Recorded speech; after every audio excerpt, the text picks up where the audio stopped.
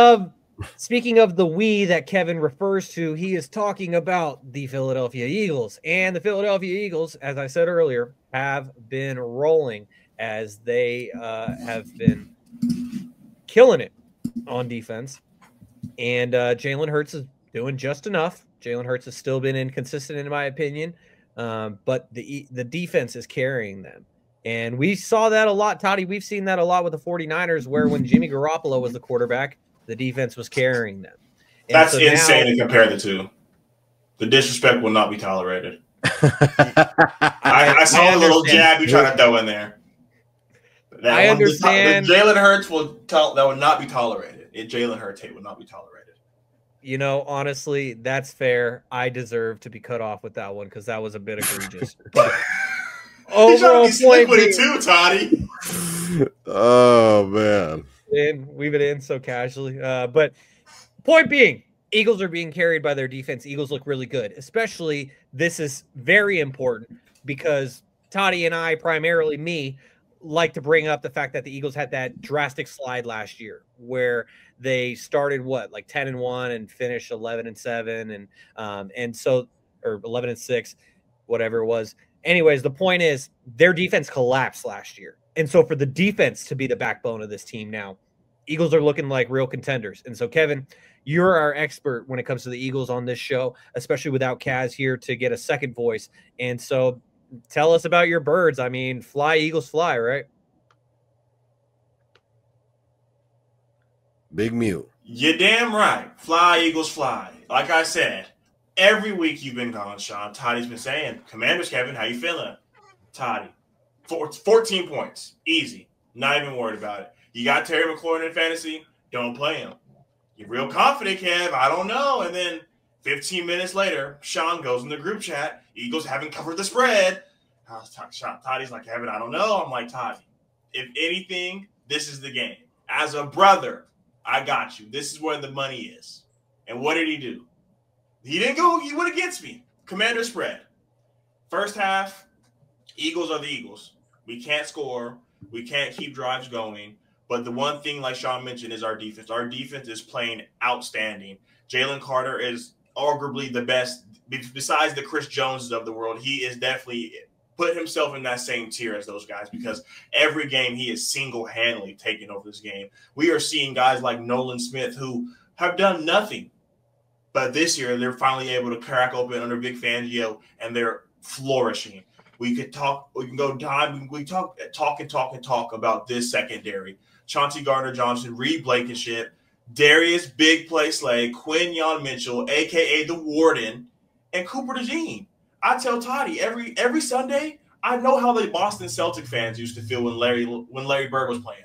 33's here, 33's here, 33's here. He's just making plays everywhere.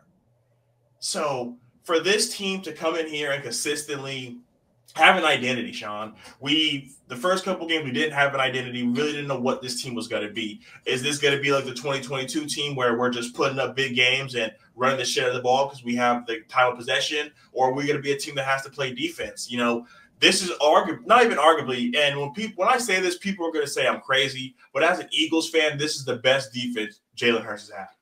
I get it. The Super Bowl run, third all time in sacks. I get it. But if we look at the secondaries, yes, Bradberry played at an all pro level, but we always struggled at the nickel because we always had to put Avonte Maddox out there. So for us to now have Cooper DeJean out there, Brad and Slay's not playing at the at a high level, but for him to play at a good enough level to not stick out with these young folks and show them the ropes. We were really butting heads with it's, it's funny because I listened to Eagles podcast and they mentioned we were kind of like the Warriors. We were trying to contend, but also build for the future. So we were really hoping on these young guys, the Jordan Davis, Nakobe Dean, Jalen Carter, like we were uh, Nolan Smith. We were really hoping for these guys, Quinyon Mitchell, Cooper DeJean. We're really investing a lot into our young guys. So to see them get in that return only helps. And then we still got guys like Brandon Graham. Bryce Huff is finally starting to play football after six, seven weeks. So we're, we're really rolling here offensively. Saquon Barkley, I'm going to stamp it right here. Offensive player of the year. I get it. It's neck and neck. Derrick Henry hasn't had a bye yet. The moment he has a bye, Saquon's going to go out there and put up what 196 scrimmage yards, And I think that's going to be the game. Yes, and it's this is really fucked up, but it's like the Ashton Jeanty. They force feed Derrick Henry. We force feed Saquon, but we also force feed him through the air. So with the battle of force feeding, Saquon does it through the air and he runs the ball. So I know a lot of people are really pushing for Derrick Henry. I get it. He Hall of Famer. I get it. Touchdown leader. But Saquon has had nine touchdowns that landed at the two or shorter. Can you guys guess how many of those times he scored a touchdown? Nine. No, how many times that he actually got to score Oh. the touchdown? Oh, Twice. mm, Once. Yeah. wow. Because I everybody don't knows believe in handing the push ball off to the running back. you give Saquon those nine carries, he's the Yeah. touchdown leader. Everyone's Yeah. rooting for Derrick Henry because he's the touchdown leader. But if you give Saquon those nine touchdowns, he's gonna bust it open. But unfortunately, our quarterback squats 600 pounds. And I told Toddy, that's 12,000 pounds you got to get through. We got we got some big dudes over there. So I, I'm feeling really good about the Eagles right now, man. You know, I was gonna wear my Super Bowl patch jersey, but I'm gonna save that for December 2nd. Because when we come in here after that, after we go to Baltimore, Maryland, and come back with the W, y'all ain't gonna stand me. I'm on my shit. Yeah, I saw uh, a tush push meme recently. I wish I could find it because uh, it, it was hilarious. But it was basically like um, when Jalen Hurts sees the opportunity to do a tush push, and it's like the guy who's like just cooking, and and and then it's kind of like Saquon, as Kevin said, is kind of just getting robbed time and time again. Even though he keeps getting robbed when it comes to getting those six fantasy points or six real life points, um, still putting up major numbers. The only thing, the only other name I would throw into that offensive player of the year conversation is Kevin's newest star, Joe Mixon. Joe Mixon is racking up the He, numbers. he missed some time though, so it's gonna be hard for him to do it. He missed. He missed three games. But if people are like, "Hey, Lamar's got something to say too. They're not winning though. You know you gotta have it all. This ain't the NBA. Yeah. you got you gotta have it all here. yeah, that's very true." But Um, before you pass Kevin, it on, talking about gambling, but real quick, I had 450 on the line, Sean. I'm texting Oh, geez. Ty saying I'm taking a list to to to Benihana.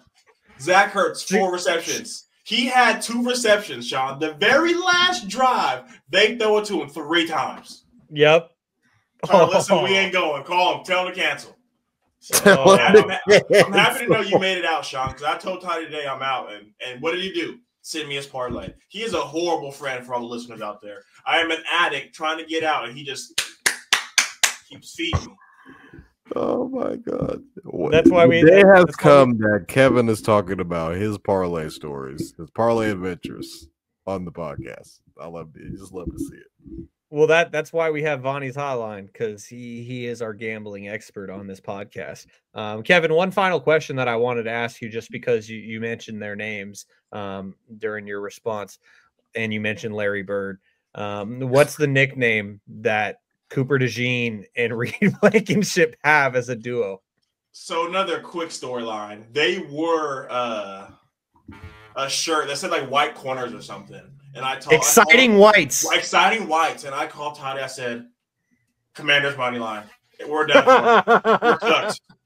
This is open.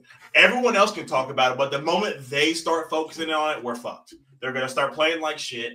And you know what? I, I'm a big fan of the Milky Way. But I mean, you know, there's not a lot of white guys out there, so they, they can be whatever, but I am a huge fan of the Milky Way. Toddy, what do you think about the Eagles right now? Um, I think they're they're very talented. The roster is, I think it's one of the best in the league. I think Jalen Hurts has been he's been playing well because he hasn't really been turning the ball over, and I feel like that's been something that um he had to clean up early on in the season. Saquon has been playing out of his ass. Um, you got guys like uh AJ Brown on on the playing the X receiver. Uh, no one can really guard him, so it's like okay. And then you look at the Commanders, who were a very exciting team. And yes, I was one of those guys saying, well, the Commanders are number one in the division, Kevin. You got to see them. And I was going to pick the Commanders to win, but then I saw that the game was in Philly, and I was like, oh. I was like, oh, I said, I don't know now. Um, but then I saw I got swindled when Sean was saying commanders, commanders, commanders. I was like, well, maybe they cover the spread. Um, Durs. I was going say, not command, it was, it was Durs. Yeah, Durs. Maybe, maybe the Durs cover the spread. And it looked good up until about like the third quarter, and then it just everything kind of just spiraled after that. Saquon it's like an avalanche. Caught like a 40, 50 yard pass, and he's on my fantasy team, by the way. Um, so I was I was cheering on the inside, but it was just uh, you know, Saquon just happened. and you know, you you heard the the Eagles fans at the post game uh for Amazon, you heard them saying thank you Giants while he was like at the uh while he was talking at the little Yep. podium or whatever. And you kind of just wonder like how did the Giants just let this guy just walk scot free like hey we saw we all saw the HBO Max and like what type of clown show is going on with the Giants right now like it's so bad that Mr. Gabagool himself is supposed to be starting on Sunday. DeVito is coming back. But let's get back to the let's get back to the game itself. Uh, I thought J- or Jayden Daniels definitely looked like a rookie in this game.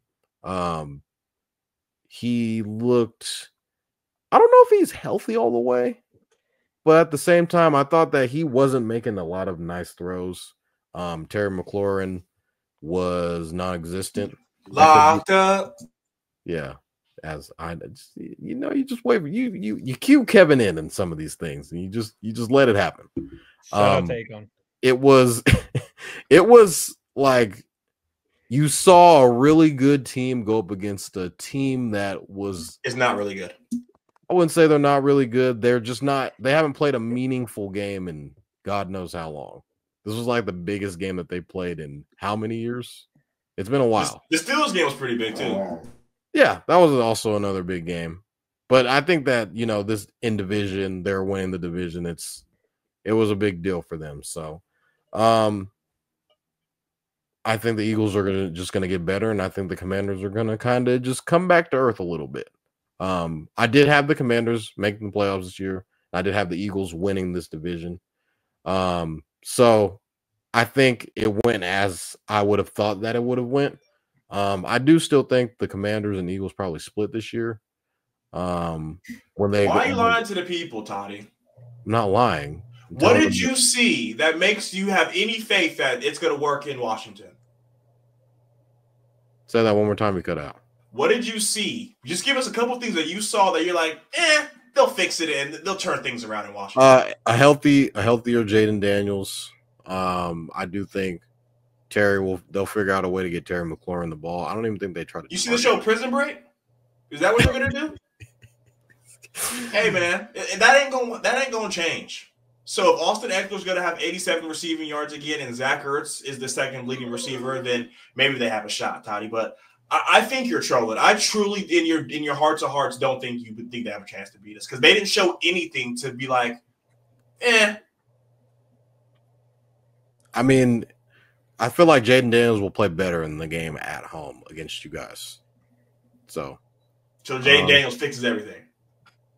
I mean, he's the quarterback. He's he's pretty good. He's the reason why they're where they are right now. So, I mean, like Toddy said, they haven't played nobody. Every time they play somebody, they lose. So is he really good, or you know, they got to play the Giants twice? I'm not saying they're going to win the division, Kevin. You're saying they're going to beat us, which is insane. but for time purposes, I'll let you go. I just wanted the listeners to know that you don't have nothing. You just think that it's just going to work better. But I Yeah, mean, everyone has a dream. Yeah, that's why I'm giving my opinion on the show. I think that they can still split with you guys. But I mean, that's not really saying much because I feel like you guys will still be able to win the division because your record's going to be better than theirs. And that's okay. Well, to uh, follow up on two things. The first one, Kevin asked, like, what are they going to do differently? I have no idea. like, give Terry McLaurin the ball more. That would be my suggestion. But He ran If he's 20 getting- 25 routes and got one pass. yeah, I know he's not even being targeted, and so it's like if if he's just getting locked up, then there's not much they could really do about it. Like maybe Noah Brown from the Ohio State University could get more involved because he seems to have become their second receiver. Um, but this touches on something from early in the show. But despite the fact that I cannot give you any logic or reasoning as to how the commanders will beat the Eagles and what would be different, I'm probably still going to pick the Commanders the next time they play the Eagles. And that touches on the fact that, yeah, I probably made my pick last week out of probably 50% hate. And last week, like genuinely, I thought the Commanders would win. But now that I'm reevaluating it, it's probably 50 50, like an even 50 50. Uh, so I was doing some politic in there, but you know that that hurt me overall um, in our pick'em. But even through my hiatus, top two, and I ain't two. So let's knock on some wood if you're with me, and hope I can keep that going. Um,